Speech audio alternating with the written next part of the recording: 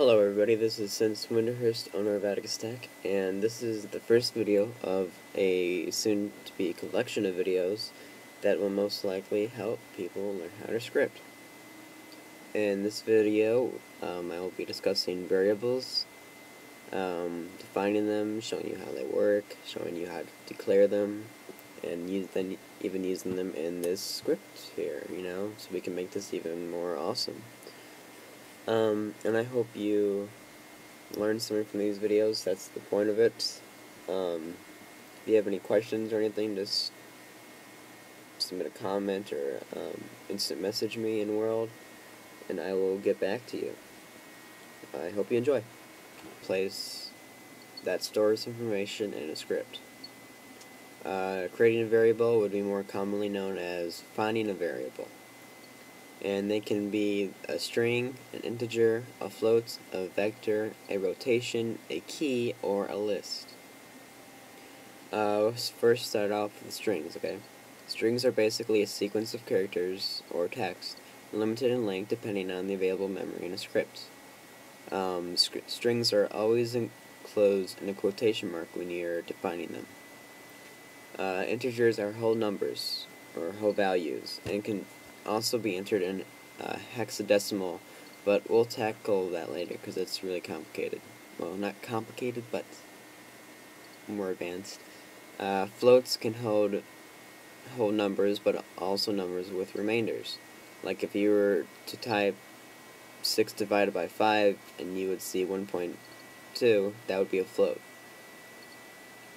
Um, vectors are basically three floats used together usually representing a direction or coordinate or magnitude which are formatted as x, y, z.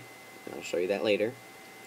Uh, rotations are like vectors except they consist of four floats used together and is formed in x, y, z, s.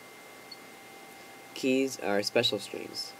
Uh, they are the unique identifier that can be used to reference objects, inventory items, agents, textures, etc. But we all refer to this as UUIDs. Lists are exactly as it sounds. They consist of other data types and are created via comma separated values, CSV, which are all enclosed by um, brackets. Lists can contain all the above data as well. Okay, so let's start off with showing you how strings work. Now, first, when you need when you want to define a string, um, you have to add the, the name that you're defining. So put string. Okay, that's the first step. Pretty easy, huh? Now all you gotta do is just add a name. Pretty easy as well. So put this as test string. And then if you want to add a value to it, we'll add a value to it up here add a equal sign, then add some quotations. We'll put in test string and add a semicolon. Okay, and that's it. If you wanted to define, no, that's right there is a global variable. That means it's going to work throughout the whole entire script.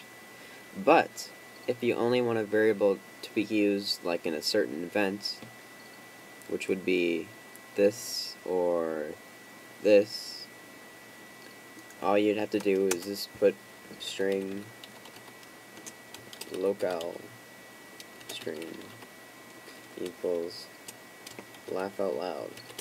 Okay. Now that string would only be used in that event, okay? So this wouldn't know what that string is and anything else, okay? Um, next one we're going to do is an integer, okay? So, once again, integer test integer equals and then put a number. So we'll put uh 53 okay? Now that's a global variable once again. So any script in here would be easily would can easily get that um integer okay? Next one would be a float. So once again float. Test float So 4.512. That's a float. I mean, this is, I mean, this declaring variables is pretty easy, okay? This is probably going to be the easiest video that I could have made, um, and for you to learn. Let's do a vector now. A vector, uh, test vector. And for vectors, you could either, there's two ways you could actually do these, alright? So you could have like, uh, 4, and then 5.82, or, and then as a z, 65, okay? Now that's a vector right there. But, there's a really cool thing you could do, too. Like if you wanted to combine a float that you've already declared, which would be up here, into this vector. Okay, so we'll do that.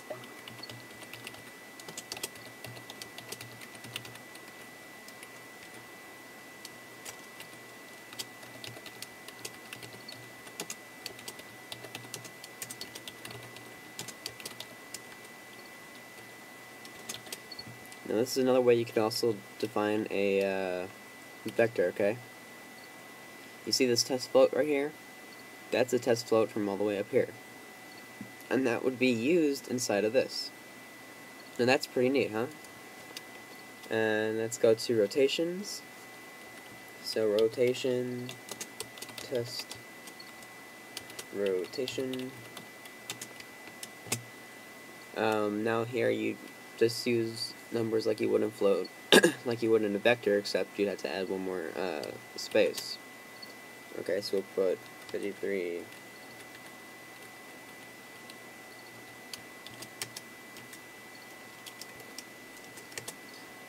Okay. Uh, let's do a key now. Okay. Now keys, um, they're usually like avatars stuff like that, so we'll just, we're actually just going to leave this blank, but we're just going to put a test key, but leave that blank, okay? Just add a semicolon there and just end it, alright? And the last one is uh, lists. So put list, test, list. Okay? Now in lists, if you want to add items to it, you could add it global, uh, globally or locally. Okay? I'll show you globally first. Okay? so let's put an equal sign. Then we're going to put our brackets. Okay? Uh, now within the, these brackets, um, these are going to be our this is going to be a list, okay? So let's first put um, test string in there. Add a comma, test integer, add a comma, test float, add a comma, test vector, and we'll leave it like that for now, okay? Because I'm going to show you a cool thing you can do. So, let's go back to the state en entry uh, event, and let's take a look at our test list. Now because it was defined uh, globally, any event would be able to recognize this uh, variable. Let's say you want to add a variable, okay? Well, all you need to do is just have a plus equal sign, and then add, then tell it what you want to add. And this would be added to the end of the script. So let's say you wanted to add test rotation and then test rotation which is all the way up here will be added in here once it hits state entry okay now of course click save that's where you add everything tells you if it compiles or not and if it gives you any errors make sure that you included these semicolons in here okay because these semicolons then even the best scripters can even forget a semicolon once in a while and then they're all like oh my god what happened okay? But those semicolons need to be there so everything can work out, okay? So these are all your variables that you can use in scripts, okay? And variables are also so seen in events such as touch start, integer num detected, okay?